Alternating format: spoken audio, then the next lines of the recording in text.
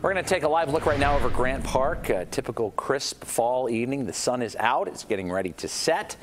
It's still a little cool out there, and there's some rain on the way. Meteorologist Mary Kay hmm. Kleist is here now with a check of our forecast, and we'll have that rain gear handy pretty soon. Right, we're going to need it tomorrow, Rob and Erica, but I do want to share with you a little peek at what's to come perhaps this winter. NOAA has released the temperature and precipitation outlook for the winter months. This is the temperature plot. Notice how much of the country is expected to be warmer than average, especially in the Pacific Northwest. But, you know, even Chicago, the Great Lakes region, reflects reflecting trends that would be warmer than normal. These areas here that are not shaded would have equal chances, so a pretty average winter, and nowhere across the U.S. is expected to be colder than average. That's interesting. And here's the precipitation outlook. Great Lakes, drier than normal, perhaps, and also in the northern tier states there.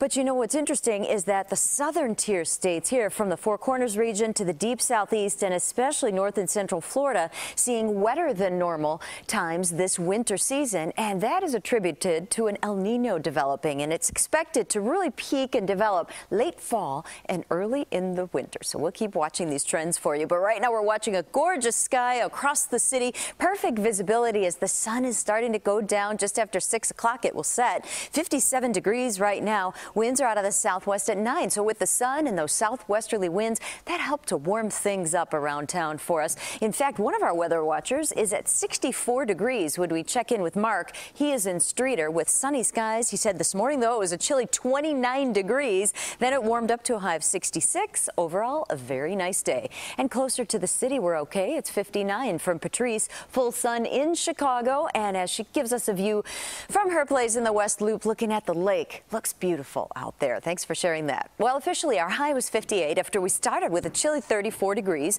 Normal high is 62, but as we've been talking about, it's a cooler than average average week, and it's going to be a cool weekend, too. So we have 58 degrees in Chicago, but notice this warmer air. Minneapolis enjoying 72 degrees today. Reason for that? Well, high pressure that gave us the clear skies, winds coming around this high in a clockwise position, keep pulling in some of this warmth all the way into Minnesota, but you can see it's also pulling some moisture into the Texas area and the central plains, south central plains anyway, places that probably don't need the rain. But here's the front we're watching. This is going to bring rain showers into the forecast forecast for us. So let's time it out. If you have plans this evening between 6 and about 10 or 11 o'clock, clear sky. Temperatures around 48 degrees at 10 p.m. Then tomorrow morning, look what happens. 7 a.m. We start with cloudy skies, so it may not be raining when you leave, but grab that umbrella because as we go through time and during the afternoon, we're going to see spotty showers line up ahead of that boundary as temperatures make it into the low 50s, but scattered rain may be around, and then we clear out at night. But then Saturday, a second system comes in. This is 6 a.m. We start out clear,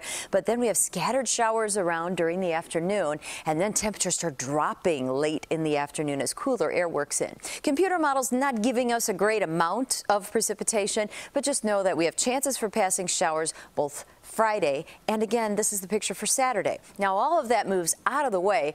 Dry high pressure, but cool high pressure coming in for Sunday, and that is going to keep conditions very nice for us for the kickoff. 43 degrees at noon on Sunday. Southwesterly winds are light at 5 to 10 for the kickoff forecast, and the high on Sunday will be around 48 degrees. So you might want to find that umbrella, Rob and Erica. Not big dramatic rain event, but scattered light showers will be around from time okay. to time. Okay, we can handle that.